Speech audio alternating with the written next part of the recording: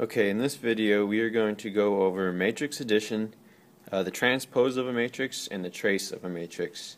So first let's start off with matrix addition. Um, it's very, very straightforward. Um, I mean, okay, we'll just start with examples. We have our matrices laid out right there, and let's say we want to do A plus B. And yet, um, when you add matrices, add or subtract matrices, you can only add or subtract them if they are the same size. So like A and B are the same size matrix and C and D are the same size. So we can add and subtract A and B and we can add and subtract C and D, but we cannot add and subtract B and C or A and D because they're not the same size. But what you do when you're adding or subtracting is you go A plus B and then you have your matrix and the resultant matrix is going to be the same size as your two um, beginning matrices. So you just take the components, you add it component by component. So you do 2 plus 3, so we're going to have 2 plus 3 is equal to 5. Then 4 plus 0 is 4. 6 plus 1, 7. Um, then 1 plus 7 is 8. 3 plus 2 is 5. And 6 plus 5 is 11. So that's how you do matrix addition.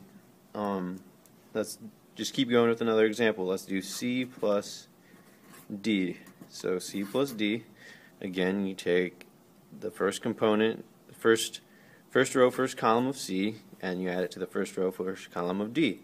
So you got 2 plus 1 is 3, and again you do 2 plus 1 is 3, and then you move to the bottom row, you 3 plus 4 is 7, and then you go 3 plus 4 is 7. And this also you can you can add and subtract them however you want. So let's let's do another example where we do let's have b minus a is equal to Okay, so here we're going to take 3 minus 2 is in our first position, 3 minus 2. Then we're going to have 0 minus 4 0 minus 4 in the second position, and then 1 minus 6, and keep going, we go 7 minus 1, and 2 minus 3, and 6 minus 5. And when we do all the calculations, we're going to get 1, negative 4, negative 5, 6, negative 1, and 1. And that is how you do matrix addition and subtraction. I guess I should have added that up here. But now let's move on to transpose. Transpose. Okay, transposing is also very, very simple. All these concepts in this video are going to be. The transpose is when you're going to switch the rows and the columns. So the rows here are going to become the columns. So let's just let's just go with examples. A transpose. The up, T up top means transpose. So we're this we're just going to take the first row here. We got one, negative two, and four.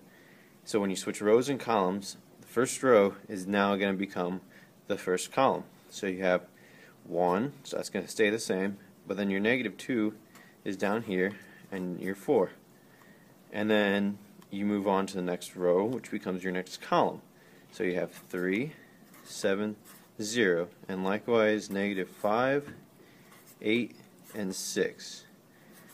And that is A transpose. Let's do another one, a bigger one. B transpose is equal to, we're going to have, this is our first row, so in B transpose it's going to be our first column. So we have 2, which is the same, the first one's always the same. Then we have 7, then we have 5, 6, and 1.